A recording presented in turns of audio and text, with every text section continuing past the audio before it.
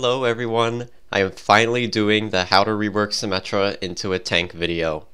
I apologize that it took so long, but I really wanted to think everything through before making this. Just as an FYI, I do think Symmetra 3.0 can be balanced, and I've already made a video on this.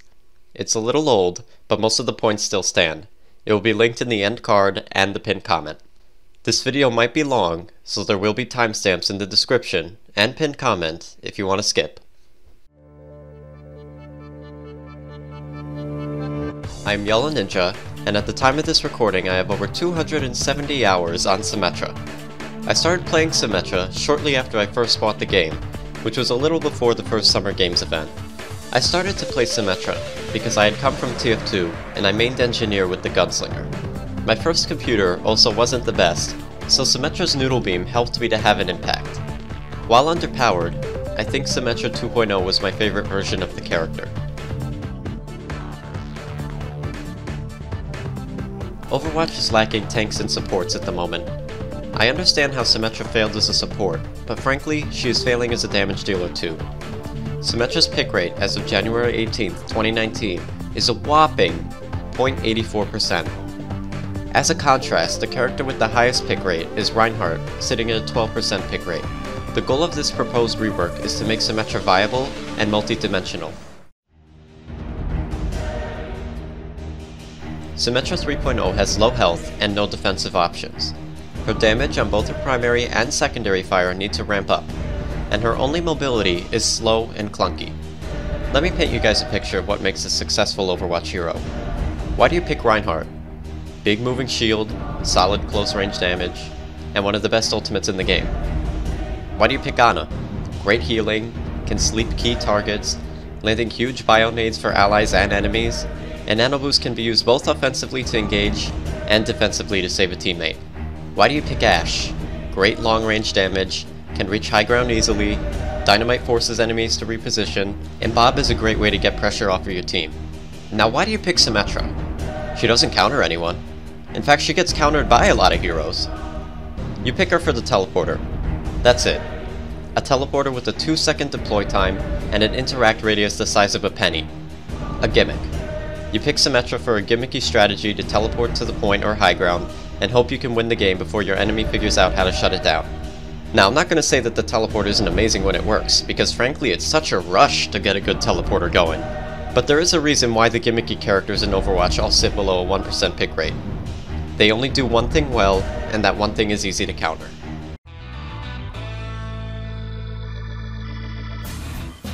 I will go into details about every ability and decision after I list off their stats. Symmetra's new health will be 175 HP and 175 shields, 350 health in total. The Photon Projector's ammo will be returned to 100. Primary fire, 2.0 auto lock beam, 10 meter range, 1 second charge time per level. Damage starts at 25 DPS at level 1, 50 DPS at level 2, and 100 DPS at level 3. Dealing damage on barriers will refund ammo. Secondary fire. Same as the 3.0 increment. The 20 meters a second orbs, with a 1 second charge time that do 120 damage on a direct hit. First ability, Sentry Turrets. Also the same as the 3.0 version. 3 turrets that each do 50 DPS and slow the enemy. 10 second cooldown. Second ability, Photon Barrier. This is a modified version of Symmetra 2.0's moving barrier. 2 charges, 9 second cooldown. The size of Photon Barrier would be increased by 20% of its original size. The barrier would also be slightly curved inwards to allow for a little cover on the sides. Pressing the ability will fire the 1000 HP shield that moves at the same speed as most heroes, at 5.5 meters a second. A new feature for the ability is that if Symmetra holds the button for 1 second, the barrier will move 20% slower at 4.4 meters a second. Ultimate, Photon Field. This is the same as Symmetra 3.0's ultimate, the name is changed to remove confusion. A 5000 HP barrier that spans the map for 15 seconds and requires 1500 points to fully charge. Passive. Recycling. For every second of dealing damage with Photon Projector, reduce the cooldown of Photon Barrier by 0.5 seconds.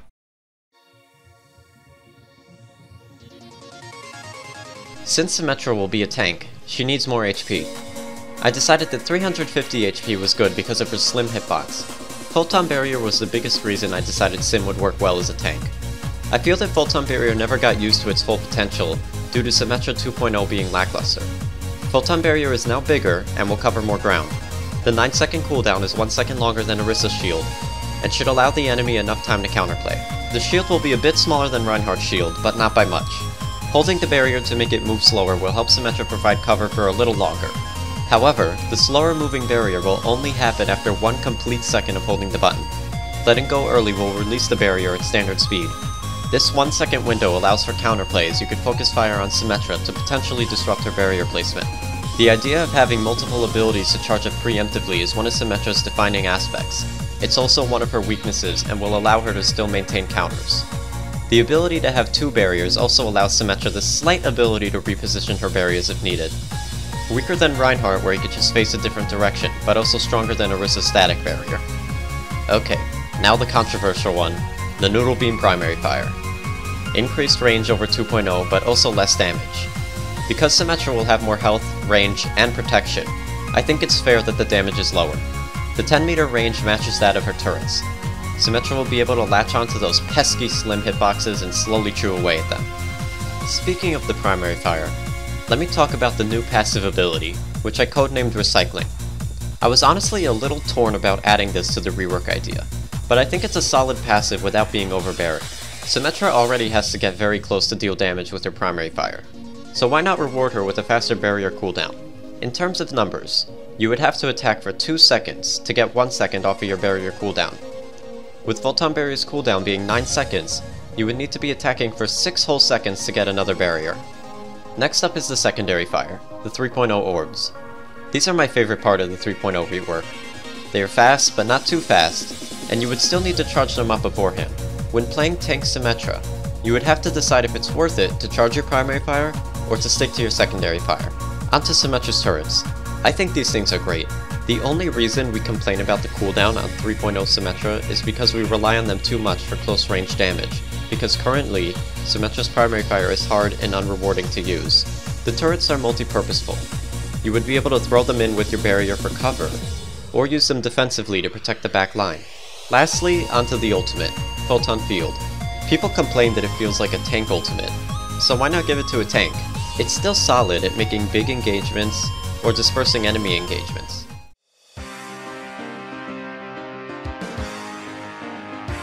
Symmetra will be the fine line between a main and an off tank. She doesn't have the health of a main tank, but has the shielding of one, and her damage will rival that of the off tanks.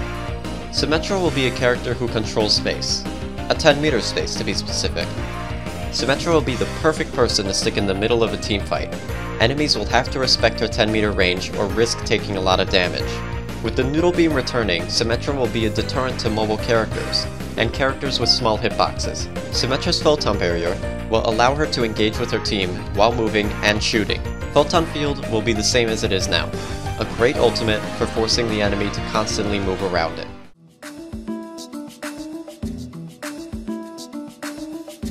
Symmetra's primary fire and turrets will be strong against Genji, D.Va, Hammond, Zarya, Ana, Lucio, Moira, and Mercy. Her secondary fire will retain the same strengths as it does now, where it's pretty solid against bigger characters like Bastion, Zenyatta, Reinhardt, and Orisa. Symmetra's Photon barriers will be strong against Brigitte, McCree, Roadhog, and the hitscan heroes. Symmetra as a whole would be strong against Deathball comps, as she will be able to single out targets instead of blasting bullets all over the place and hoping they hit the right person.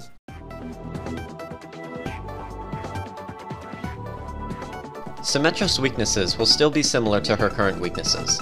Although she will now have easy access to cover, Symmetra still lacks reliable range damage, as her orbs are easy to avoid. As a whole, Symmetra would still be weak to Dive Comp, a comp featuring Winston, D.Va, Genji, Mercy, Zenyatta, and Tracer. These characters together can jump right through Symmetra's barriers and destroy her turrets easily. Of course Symmetra will have more health, but Focus Fire will kill any tank. Characters that counter Symmetra will be the ones who can ignore or destroy her barriers easily. Onto some character-specific weaknesses. These will be in order of hardest to softest counter. Pharah, Pharah, Pharah. How I hate Pharah, and how I would still hate Pharah. Pharah would still be able to easily outmaneuver your barriers and avoid your orbs, constantly pressuring you from above. Sombra's EMP will shut down everything Symmetra does, barriers and turrets. On top of that, Symmetra's HP will be cut in half, and she will be an easy picking. Bastion will be able to shred the barriers, forcing Symmetra out of position.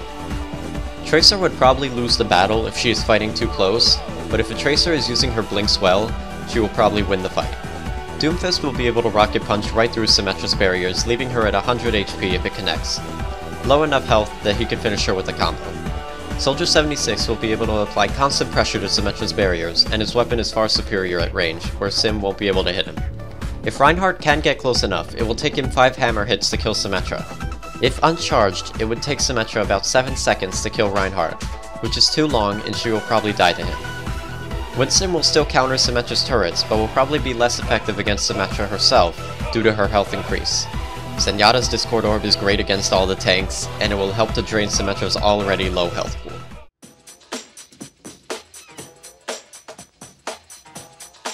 Symmetra will play like the in-between of Rein and Orisa. All the supports would work fine with her, but here are some special mentions. Even though Speed Boost will cause you to move faster than your barrier, Lucio can allow Symmetra to make erratic movements in close range, to use her primary fire without being hit. Mercy and Zenyatta damage boost will make the beam do 130 DPS at max charge, which is slightly stronger than her 2.0 form. Symmetra will also be a viable nano boost target from Ana. With Symmetra being a fusion of off and main tank, she would work well with a good chunk of the tanks. Reinhardt and Orisa would be solid choices, as you would have even more shielding to work with. For the off tanks, I think D.Va would be the best pick.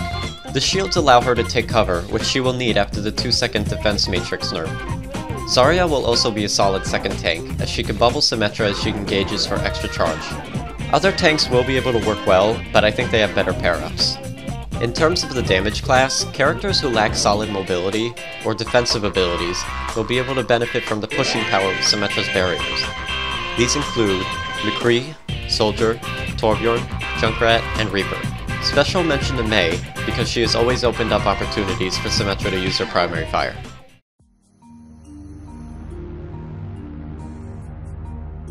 I've been brainstorming this concept for quite a while now.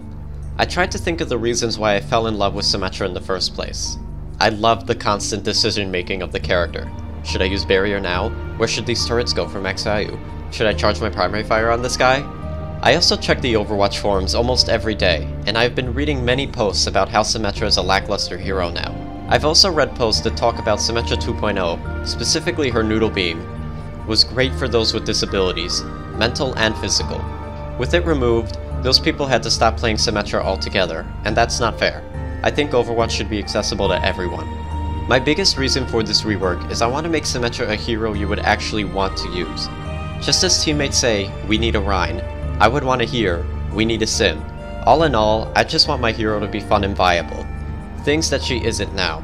Of course, as always, let me know your thoughts in the comments and we could get a discussion going. I'm Yellow Ninja, and I want to see Symmetra with an above 1% pick rate. For once. Peace.